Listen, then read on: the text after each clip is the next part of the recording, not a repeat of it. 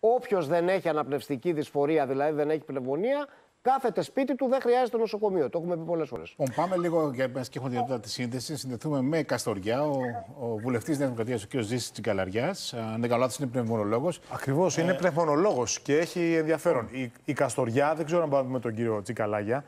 Καλό μεσημέρι. Ναι, η... σας ακούω κύριε Χαριτάτο. Κα, καλό σας απόγευμα. Καλησπέρα.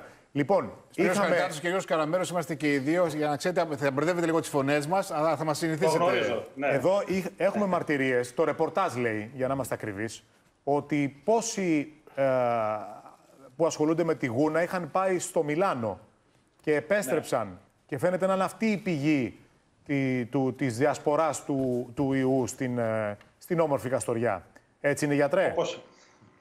Σίγουρα είναι έτσι ότι η Καστοριά είναι πολύ όμορφη και αξίζει κανείς να την επισκέπτεται. Τώρα όσον αφορά αυτή την επιδημία η οποία μας ταλαιπωρεί, το, τα πραγματικά περιστατικά είναι τρία. Πρώτον, και από τον νομό Καστοριάς υπήρχαν δύο λύκεια την επίμαχη περίοδο στο, στην Ιταλία. Από την άλλη μεριά υπήρχαν κάποιοι επισκέπτες και στους Αγίους Τόπους, όπως και από άλλες περιοχές της Ελλάδος. Και το πιο βασικό που δεν υπήρχαν τέτοιοι επισκέπτες, 20 με 25 Φεβρουαρίου γινόταν η καθιερωμένη ετήσια Διεθνής Έκθεση Γούνας του Μιλάνου, όπου κάθε χρόνο την επισκέπτονται και αρκετοί Καστοριανοί. Φέτος ο αριθμός ήταν μεταξύ 150 και 200. Αυτά είναι τα πραγματικά γεγονότα και θεωρώ ότι ε, ειδικότεροι συνάδελφοι στην επιδημιολογία και την υγιεινή, αυτοί μελετώντας το φαινόμενο μπορούν να αποφανθούν αν η αιτία του κακού βρίσκεται εκεί.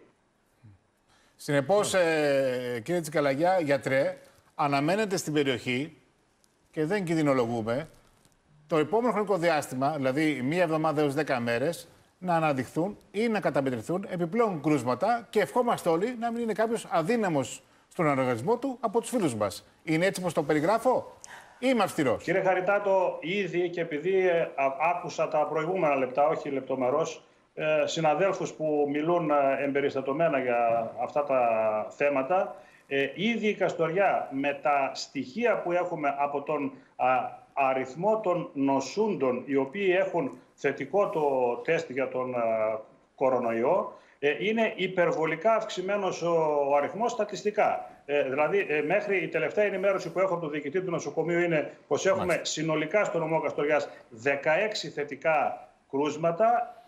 Από αυτά τα 16, τα 8 αφορούν υγειονομικό προσωπικό. Δύο γιατρούς και οι υπόλοιποι είναι νοσηλευτές ή παρασκευαστές. Επομένως, αυτό που μου δίνεται η ευκαιρία τώρα και το έχω κάνει κατ' επανάληψη τις τελευταίες ε, μέρες, ε, ζητάμε την, ε, όχι τη συμπαράσταση, θέτω, αποτυπώνω το ζήτημα στις αρμόδιες αρχές, ε, εκεί που παίρνουν οι αποφάσεις για το αν αυτά τα εξαιρετικά στατιστικά σημαντικότατα ευρήματα χρήζουν διαφορετικές, διαφορετικής αντιμετώπισης αυτή την περίοδο της Καστοριάς από ότι αυτά τα πολύ σωστά μέτρα που εφαρμόζονται σε όλη την Ελλάδα. Γιατί ευχαριστούμε.